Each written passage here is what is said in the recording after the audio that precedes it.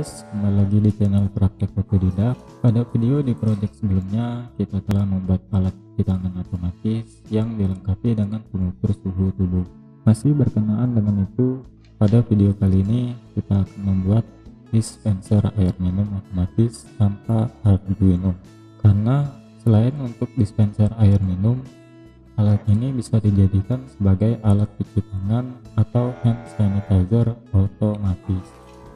Mau tahu bagaimana caranya? Simak terus video ini.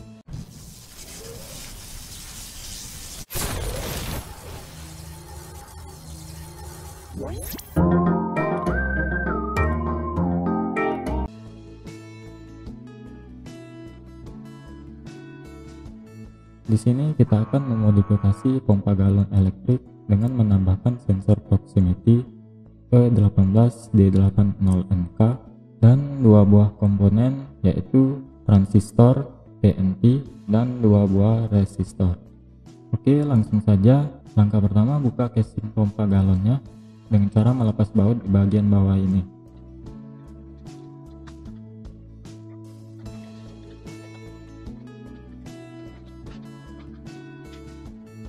Di dalam pompa atau dispenser air galon ini sudah terdapat modul PCB dan di sini adalah bagian driver pompa yang akan kita tambahkan rangkaian driver. Di modul PCB ini juga terdapat port USB sebagai charger dari baterai di mana sumber power dari motor DC atau pompanya ini menggunakan baterai 3,7 volt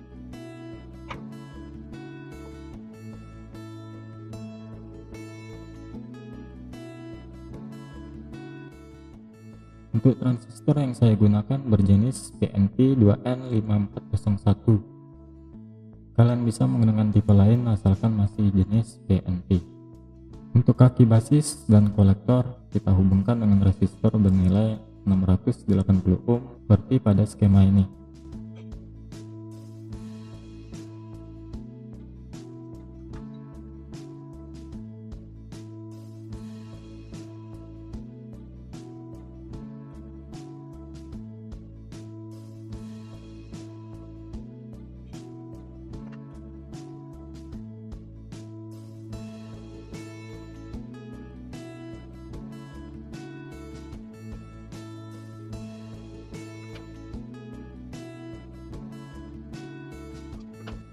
Oke, seperti ini ya. Sebelum melakukan penyolderan, sebaiknya kita lepas sumber power baterainya dahulu.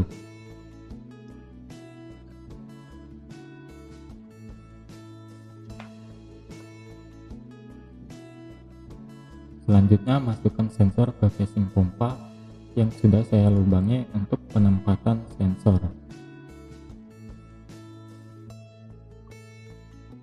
Di sensor ini untuk kabel warna merah itu positif biru negatif dan hitam adalah output.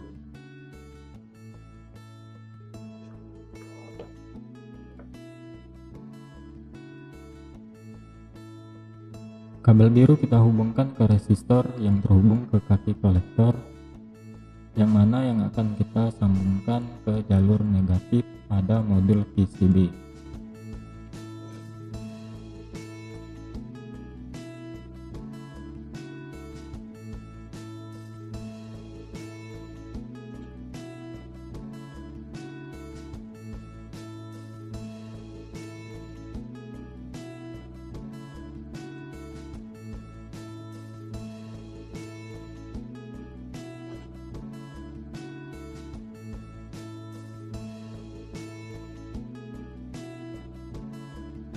Jika sudah, solder juga kabel hitam ke resistor yang terhubung ke kaki basis TR-nya.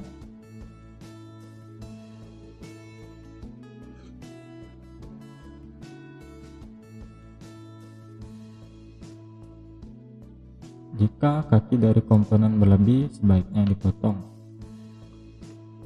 Oke, seperti ini. Sekarang kabel warna merah kita hubungkan ke kaki emitor yang mana akan disambungkan ke jalur positif pada modul PCB.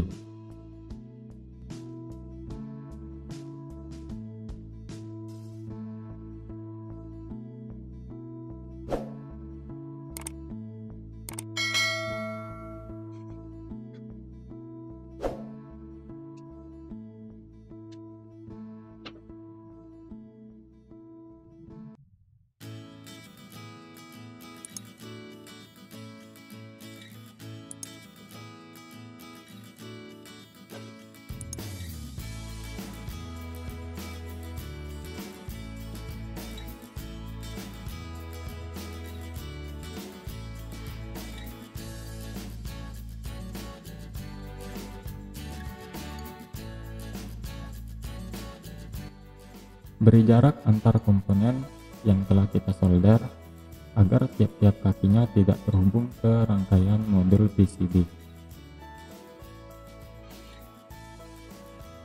Oke, terakhir tinggal kita tambahkan kabel jumper yang menuju jalur R102. Skema lengkapnya seperti pada gambar ini.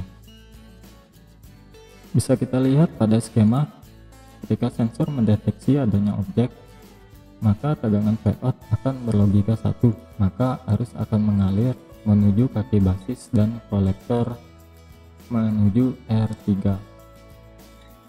Dengan adanya arus pemicu tersebut, maka akan membuka gerbang R2 pada modul PCB, sehingga arus mengarah ke kaki kolektor dan menuju pompa. Dalam kondisi ini, pompa akan menyala.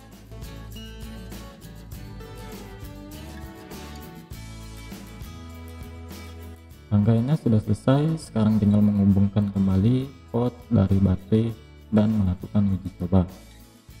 Jika baterainya sudah terhubung, secara otomatis pompa air galon ini akan menyala. Maka pada saat menutup casingnya, aturlah sensor tersebut agar tidak mengenai objek atau tangan kita.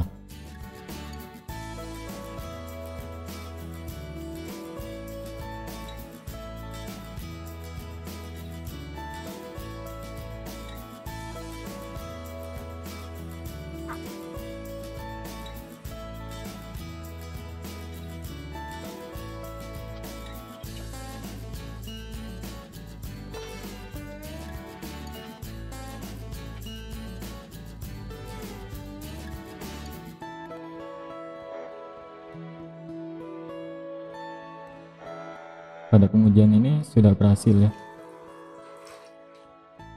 Di mana saat tangan didekatkan ke sensor maka pompa akan menyala dan air akan keluar. Setelah tangan sudah jauh dari sensor maka secara otomatis pompa akan mati dengan sendirinya. Selain berjalan otomatis, kita juga bisa menyalakannya secara manual dengan cara menekan tombol switch yang terdapat dalam pompa elektrik ini. Oke, begitulah cara membuat automatic water dispenser. Jika berkenan, mohon dibantu like dan subscribe-nya.